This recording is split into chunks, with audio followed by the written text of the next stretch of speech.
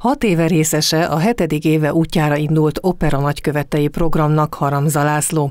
A Pécsi Nemzeti Színháznak valamikor tagja volt, 2001-ig szólistája az opera tagozatnak. Sok szép emléke, kapcsolata maradt az itt eltöltött évekből, Pécset él. Amikor részese lett az opera nagykövetei küldetésnek, akkor főleg a hazai és a Pécs környéki művelődési intézményekre, iskolákra koncentrált. Ekkor régi kapcsolatait elevenítette fel, avat be a művész. Így az intézményekben felnőtt és ö, diák közönség előtt az opera nagykövetei programban művészettörténeti, művészet ö, ö, elemző, művelődés történeti előadásokat tartok, közelebb víve a fiatal közönséget, részemről inkább a középiskolás korosztályt az opera világához, illetőleg felkészítvén őket a valódi színházi élményre.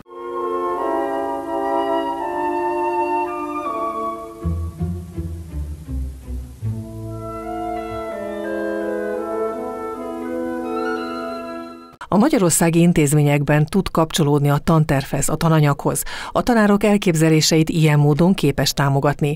A színházi élményekbe pedig interaktív módon kapcsolja be közönségét, például Budapesten az Erkel Színház, vagy szintén a fővárosban az Andrási úti Operaház világába. Azonban mi a helyzet, ha határon túl tart előadást az opera egyik nagykövete? Tavalyi évben 45 előadást tartottam a határon túl. Felvidéken Pozsonytól Kassáig, délvidéken, Horvátországban, Szlovéniában és hát természetesen Erdélyben, illetve Székelyföldön.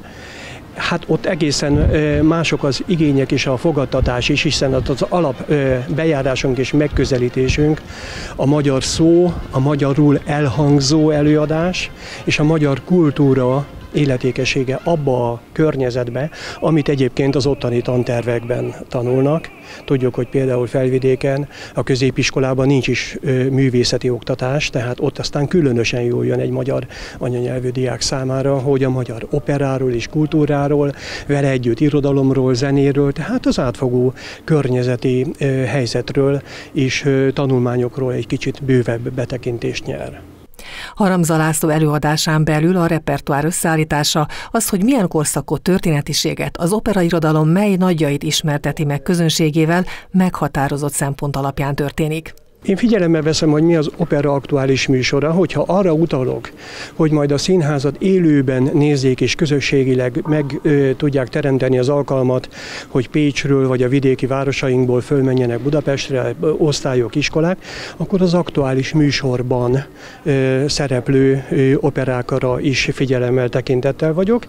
Mindez mellett ö, egy kiemelt területem az opera kialakulása, mivel elég sok egyházi iskolát is látogatok meg, magam is egyházi iskolás voltam, még a régebbi időkben, a Ferenceseknél Esztergomba, és így ebben ezt a kört ö, megkeresem, ahol az opera kialakulása és a zenész színház kialakulása és a liturgikus zene, a középkori zene érintettsége ebben ö, markánsan megjelenik, és egyúttal az európai zene történeti összefüggésbe ágyazódik ezáltal ez a műfaj. Konkrét példaként megemlíti Monteverdit és a daljátékokat, amelyek jelentősége különösen fontos a határon túli magyar közönség számára. Az egyik mérföldkő, ahova elérkezünk az említett liturgikus középkori irányból, az Monteverdi. Tehát kicsit olyan Monteverdi előtt és Monteverdi után, ami történik, hiszen az a struktúra, az a forma, amit Monteverdi hozott zenekarral, kórussal, szólistákkal és az egyéb környezettel, az tulajdonképpen ilyen-olyan formában a későbbi stílusokban is megmaradt. Előszeretettel idézem például az Odysseus hazatérését, vagy a Popea megkoronázását, hatását a Monteverdi zenéből, annál is inkább, mert korunknak erre a fajta halkabb, finomabb, meditatívabb megközelítésre szerintem igencsak szüksége van. És aztán, ha magyar nyelvterületen, természetesen ott, ugye tavaly például Pozsonyban a március 15-höz kapcsolódóan, hát nem pont március 15-én, hanem tíz nappal előtte, de a magyar opera kialakulásáról beszéltem.